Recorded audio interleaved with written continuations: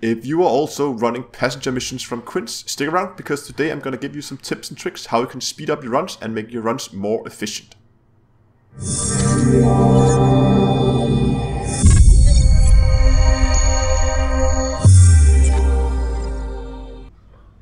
Hello ladies and gentlemen and welcome back to Down to Earth Astronomy to Elite Dangerous.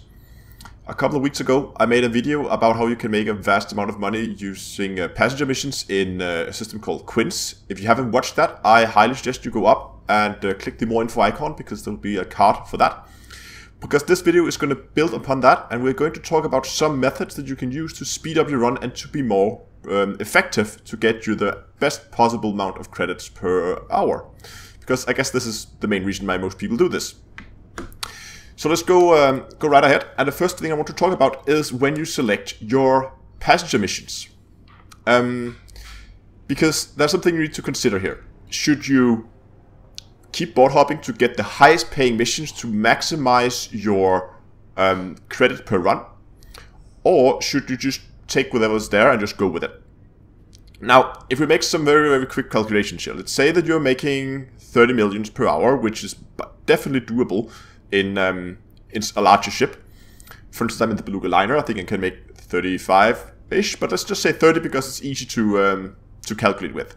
That means that you're making uh, half a million each minute. So let's say that I'm in, in a situation uh, right now, like this one, where I have filled up most of my cabins, and I have a few um, business cabins left in this case with uh, room for three passengers.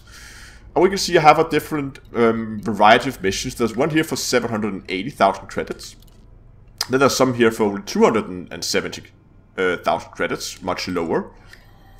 And there are some here 400, 500, um, and one here for 650. That's pretty good as well. So in this case, it's a pretty no-brainer. Of course, you're going to start by taking the 781, and we're going to put that in one cabin. And this one down here is also pretty good, so let's take that. Now, next, I have one cabin left. And the highest mission I have right now is the one here for 530. But let's say I only have like 400,000 credit missions. And I know that I can get missions all the way up to uh, 700,000. So should I take the 400,000 mission and just go? Or should I begin board hopping to try and get a mission that pays out better? Now, if we do the quick uh, quick math again, let's say, so you make 500 thousand credit, half a million each minute if you make 30 million per hour.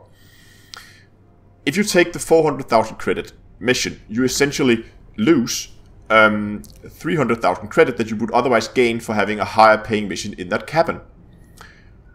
But the time you spend time getting a, the better mission and the 300,000 credits sums up to a total of what's that 36 yeah 36 seconds so if you're looking at a 400,000 credit mission, um, and you are considering should you go for a board hop and get a higher paying one, or should you get the one you have?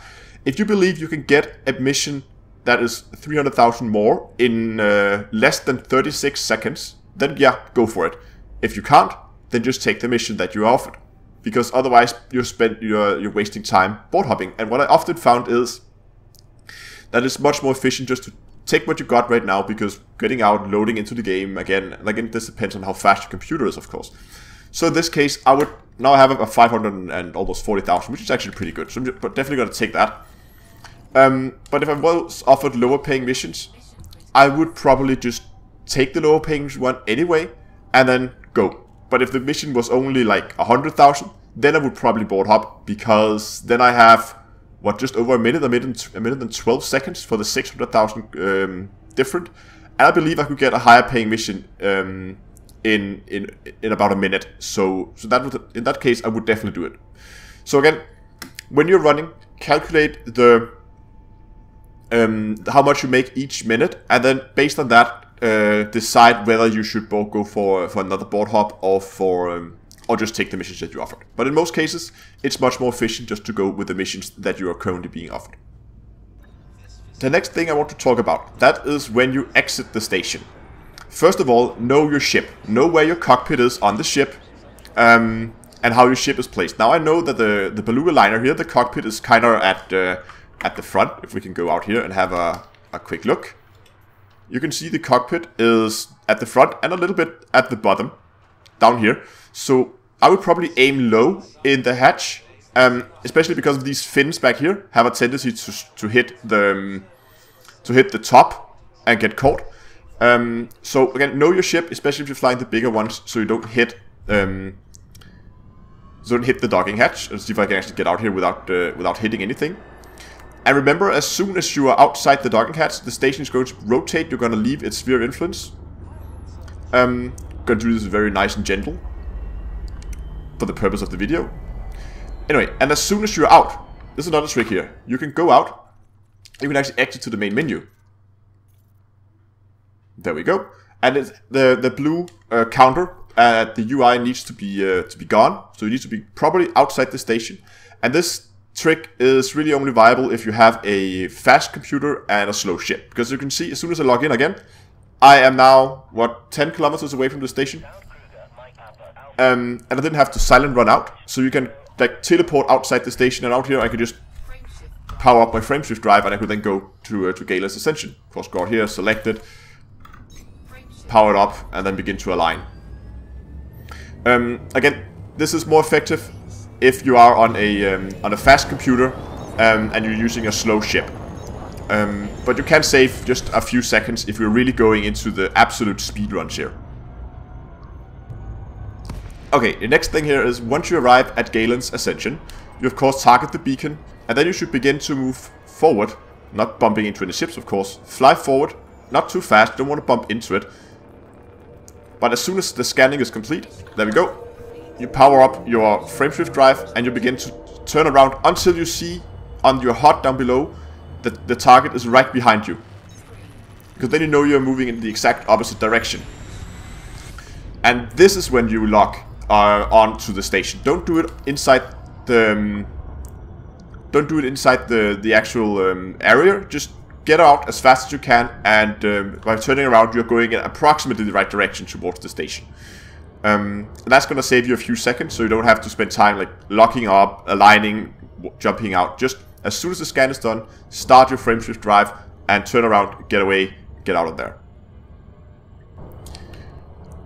Okay, so now we are approaching the station, and I think they added uh, in one of the latest patches is you can actually see this orientation of the station now.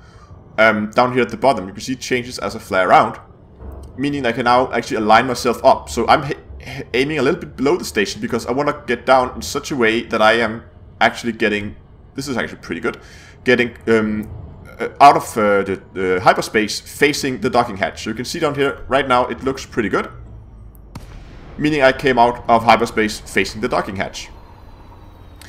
Um, a lot of people ask me how I get into the station. Some people seem to be having a lot of problems getting in. Um, because the ship are overheating. Of course, we have to silent run because we have illegal passengers they don't like to be scanned. Important part here, never boost. You do not boost. Oh, need to request docking here. You never boost when silent running. As soon as you boost, your heat is gonna shoot up and you're gonna overheat like crazy. So never, ever boost when silent running. Um, and again, we're just slowly gonna aim for, for the docking hatch here. And if you're having problem overheating, I highly suggest...